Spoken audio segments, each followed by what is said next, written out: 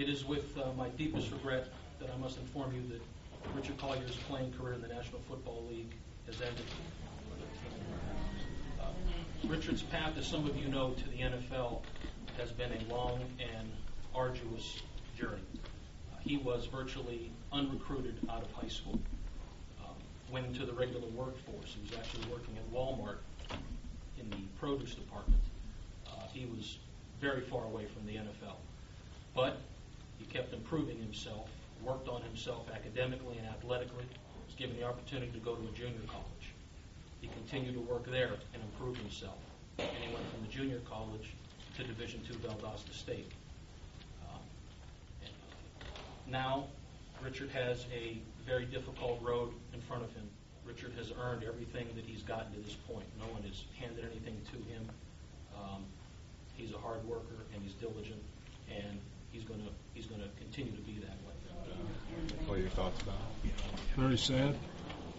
Uh, it's a tragedy. This young man was caught up in this uh, in this violence. I really wasn't concerned about him returning. Just more concerned with him as a young man. What do you think? You know, he's able to communicate. He's off the life support. Then we'll be able to talk a little bit about that. What we may be able to do. You know, t- his teammates uh, want to be there for him, and uh, we'll try to do something to make it uh, to make things a little more tolerable for him. It's funny how things work. Sometimes, you know, you just be at a gas station getting a pump and, you know, something can happen to you, but um, it just, it's just, it's just unfair that it happened to Rich.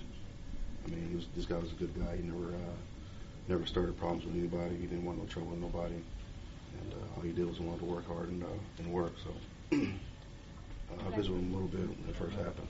But uh, before then, um, didn't really get a chance to see him much. I think had it been something he's not going to be. you know, it's tough for him and his family. So, um, so Thanks, Corey. Richard, one there, can you cross I thought about him. Um, you know, when I was at home by myself, I think about him a lot and comment about it within my own family.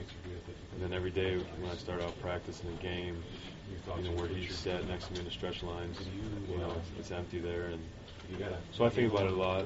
I was thinking about it a lot. And, uh, It's tough. Um, me and Rich are real close personally, but you know, so many things with him.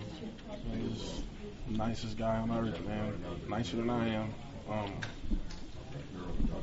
always thought about other people. Always thought about his family. Always thought about his teammates. You know, never put anybody, never put himself before anyone. And uh, you know, it's just it's heartbreaking to me because, I mean,